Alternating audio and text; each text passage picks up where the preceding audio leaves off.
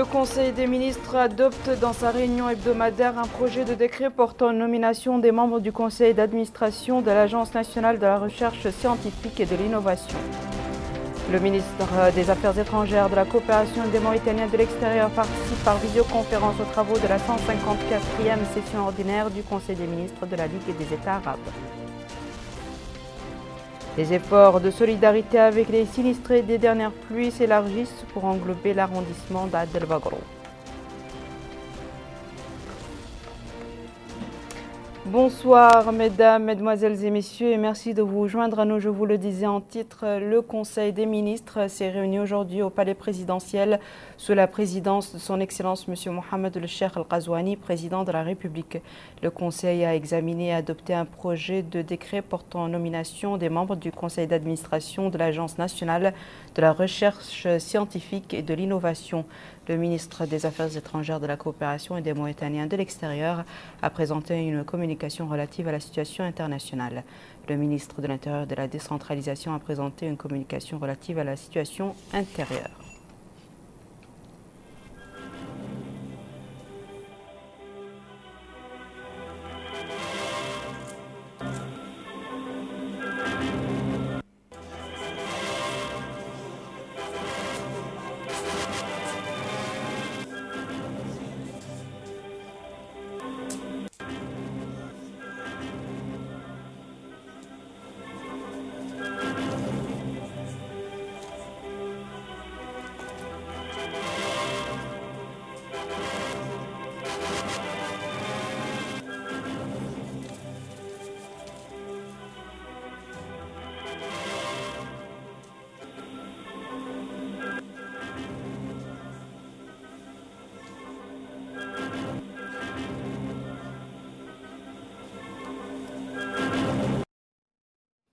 Euh, la traditionnelle conférence de presse qui se tient après le Conseil des ministres a été animée par Dr Sidul Salem, ministre de l'Enseignement supérieur, de la Recherche scientifique et des technologies de l'information et de la communication, porte-parole du gouvernement.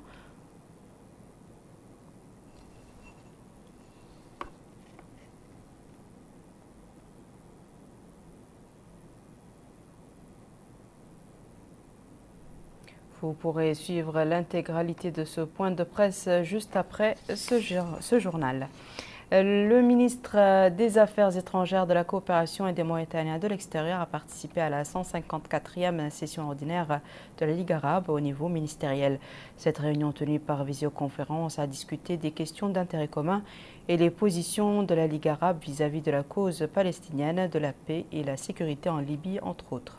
Compte rendu d'Abdelrahman Hamad quatrième session ordinaire du Conseil de la Ligue arabe au niveau ministériel, tenue par visioconférence sous la présidence du ministre palestinien des Affaires étrangères et des expatriés, a abordé la situation de la Ligue arabe à la lumière des effets de Covid-19 et clarifié sa position vis-à-vis des questions prioritaires telles que les processus de paix, la solution de deux États, la fin de l'occupation ou encore l'annonce d'un cessez-le-feu en Libye.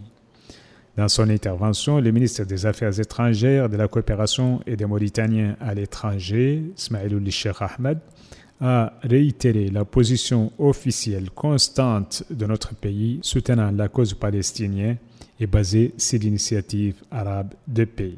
Il a réitéré également le droit du peuple palestinien de vivre sur le sol d'un État palestinien indépendant dont la capitale est El-Quds Est.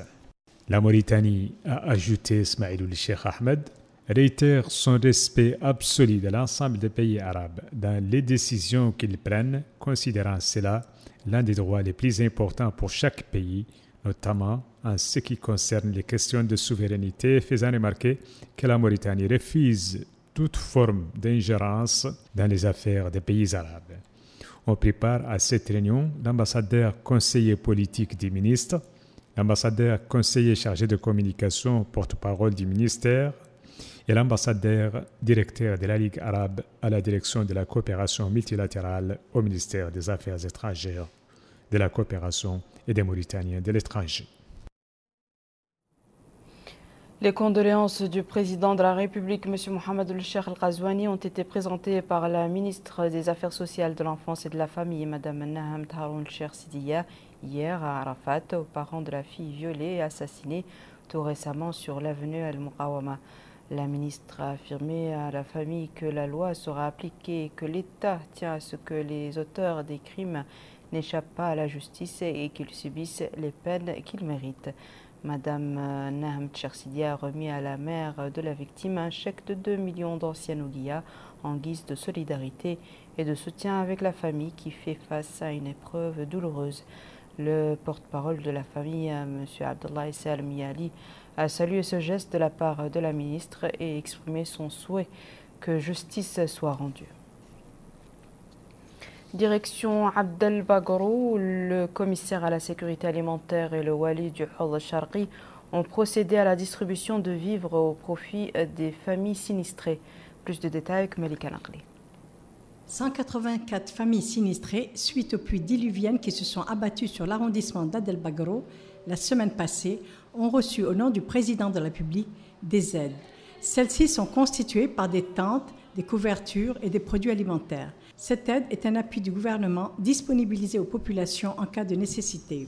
Le commissaire à la sécurité alimentaire a indiqué que la première mission venue à Adel Bagro, après les fortes pluies de la semaine dernière, et qui ont isolé la zone, a été rendue possible grâce à l'intervention et aux équipements du ministère des Transports. Cette intervention a permis de mettre fin à l'isolement sur la route entre Amouj et Adel Bagro. Ces aides sont arrivées après beaucoup de difficultés, dit-il. Selon les instructions données, une aide sera toujours disponibilisée aux populations en cas de sinistre ou en cas de force majeure. Ce sera le cas pour Adel Bagro, mais également pour toutes les zones sinistrées sur l'ensemble du territoire national. Le maire de l'arrondissement de Adel Bagro a exprimé sa gratitude envers l'État quant à la promptitude de l'intervention effectuée qui a permis de remédier à l'isolement de l'arrondissement. Les familles sinistrées dont les maisons en terre ont été démolies ont ainsi pu recevoir l'aide prodiguée le maire a loué le désenclavement sur la route Amouj-Adelbagro, mettant en exergue l'importance économique de celle-ci. Ces pluies ont occasionné des dégâts importants et de ce fait, il a appelé les autorités à répondre à l'urgence de la situation.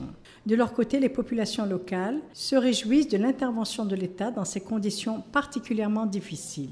Les populations indiquent que toutes les autorités concernées sont venues sur les lieux. Celles-ci n'ont pas ménagé leurs efforts. Ils étaient à pied d'œuvre avec la population tout au long de la nuit. Le wali du Hadesharghi a supervisé à Delbagro l'opération permettant le remblai des points d'accès à l'arrondissement. Cette mesure a pour but de permettre aux camions d'arriver à Delbagro.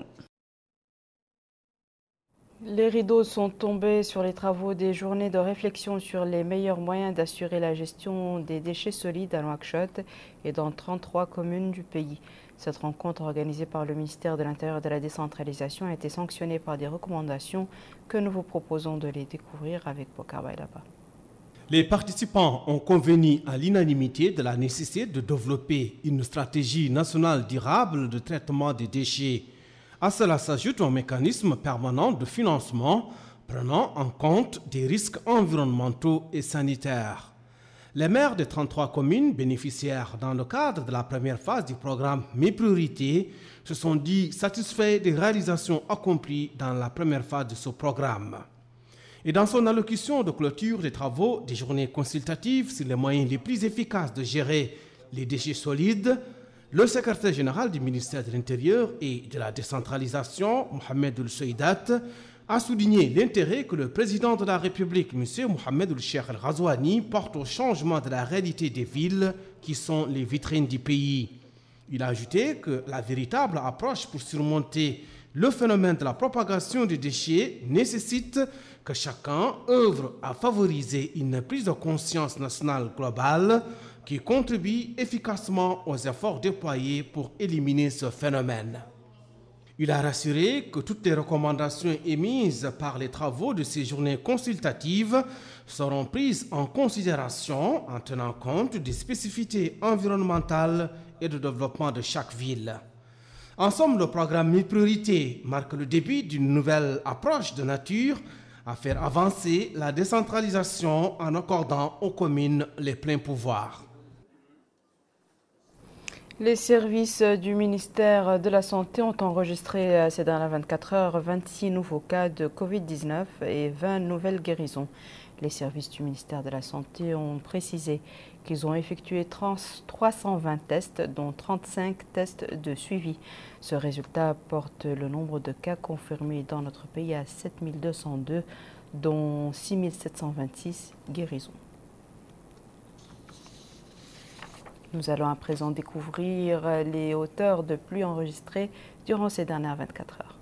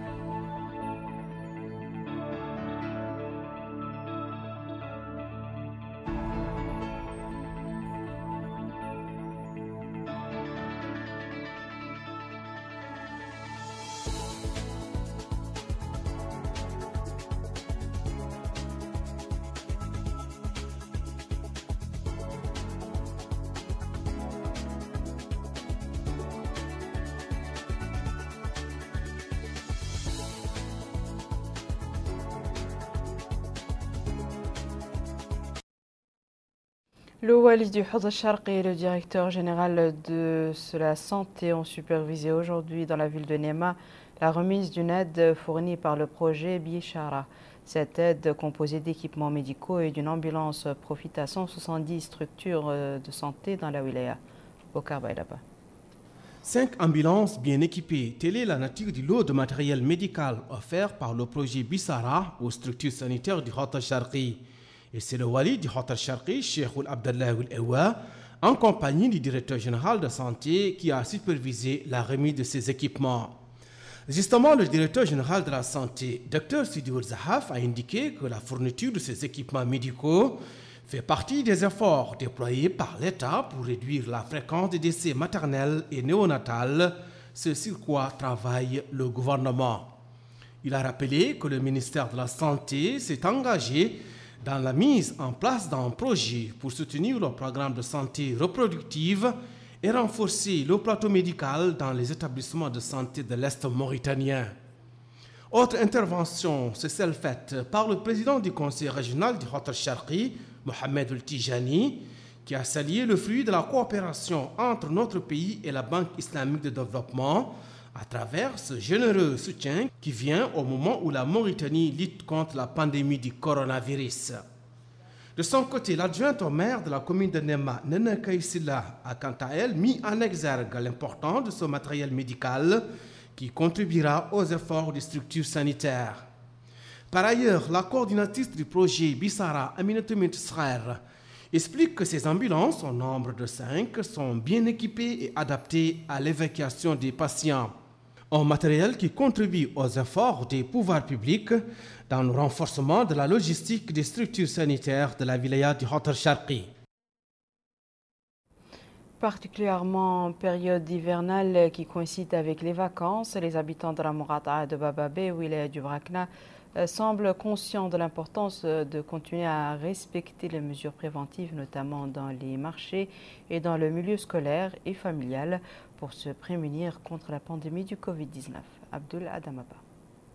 Cette ceinture de verdure témoigne de l'installation de l'hivernage à Bababé. Le calme plat qui règne au sein de cette ville commence à se dissiper une fois aux alentours du marché de ces localités. Il accueille plusieurs citoyens dont certains résident dans les villages environnants et jouent un rôle important dans les activités commerciales sur les lieux. Les denrées alimentaires constituent les produits les plus commercialisés, mais avec l'avènement du Covid-19, il est plus que jamais impératif de se prémunir et s'accommoder des mesures préventives. Ce citoyen trouvé sur les lieux affirme que chaque personne doit se préoccuper de sa santé. La maladie, dit-il, continue de sévir. Il est important de se laver les mains une fois de retour à la maison et de porter un masque. Ce jeune homme a quant à lui déclaré qu'au niveau de la Mokhata de Bababé, les habitants s'inquièrent de leurs conditions sanitaires. Les résidents, précise-t-il, se lavent les mains et quand on se rend en ville, on porte un masque. Il termine par demander à tout un chacun d'être conscient que le coronavirus continue d'être une menace. L'hivernage est certes un moment propice de repos et de retrouvailles. Il est aussi important de ne pas se passer des mesures barrières contre la COVID-19. Le député ancien candidat à la présidence Biram Daabed a organisé une conférence de presse autour du thème viol et assassinat des filles et femmes en Mauritanie. Cette sortie euh, du député Biram a eu lieu en présence des proches de la jeune fille récemment violée et assassinée sur la route d'El Muqawama dans la Muqata de Darnaim. Biram Daabed a estimé que l'État tient à ce que les auteurs de ce crime n'échappent pas à la justice et qu'ils subissent les peines qu'ils méritent. Malheureusement, notre société connaît une inflation, de viols graves, doublés de meurtres, de fillettes, de jeunes filles et parfois de mamans. Euh, c'est un défi que nos décideurs, notre gouvernement, nos élus, nos défenseurs des droits de l'homme, nos hommes politiques, mais aussi tous les Mauritaniens dans toutes les corporations syndicales et sociales, tous les Mauritaniens doivent s'investir, se dresser contre ce danger qui devient de plus en plus menaçant. Ce danger qui nous plonge dans le deuil toutes les semaines, parfois deux fois par semaine, trois, fois par semaine, malheureusement. L'agression sexuelle et le meurtre des fillettes, des filles et des mamans. Maintenant, aujourd'hui même, à côté de moi, c'est le frère de la fille Oumaïma Mohamed Lamar, assassiné, violé, assassiné, il y a quelques jours, ici à Nouakchott.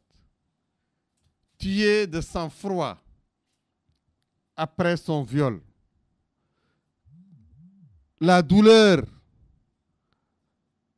que subit la famille, nous la partageons avec elle. Tous les Mauritaniens partagent la douleur de la famille éplorée, la famille endeuillée.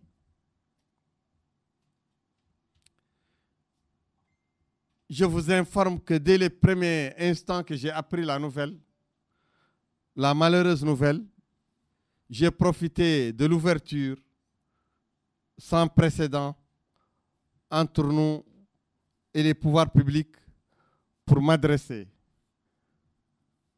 au ministre de l'Intérieur qui a veillé à ce que l'enquête se poursuive de manière rigoureuse et que la lumière soit faite sur ce crime atroce.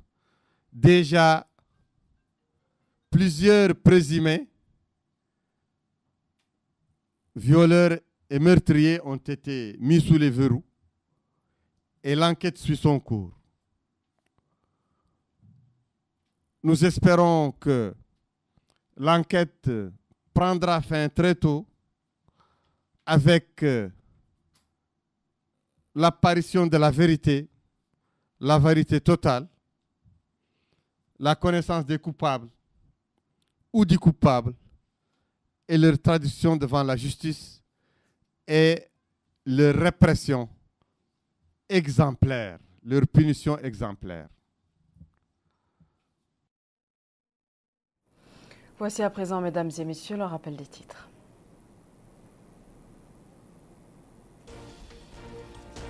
Le Conseil des ministres adopte dans sa réunion hebdomadaire un projet de décret portant nomination des membres du Conseil d'administration de l'Agence nationale de la recherche scientifique et de l'innovation. Le ministre des Affaires étrangères, de la coopération et des Mauritaniens de l'extérieur participe par visioconférence aux travaux de la 154e session ordinaire du Conseil des ministres de la Ligue des États arabes. Les efforts de solidarité avec les sinistrés des dernières pluies s'élargissent pour englober l'arrondissement de el